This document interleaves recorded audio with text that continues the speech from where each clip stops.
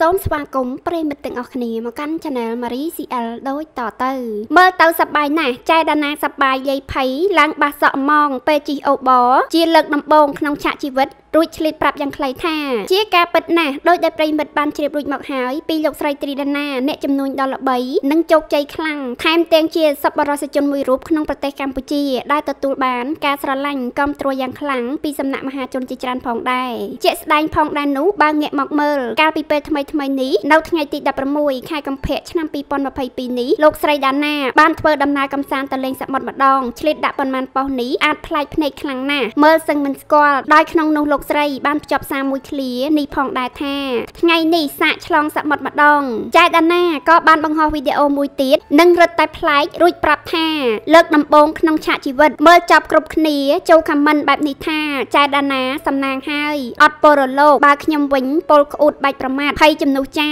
មើលទៅសប្បាយខ្លាំងណាស់បងភ័យដូចខ្ញុំដែរលើកដំបូងក្នុងឆាកជីវិតភ័យបាសសក់បើរលោកកាន់តែខ្លាំងគេបើកកាន់តែលឿនអ្នកបើកអូបលឿនលឿនណាស់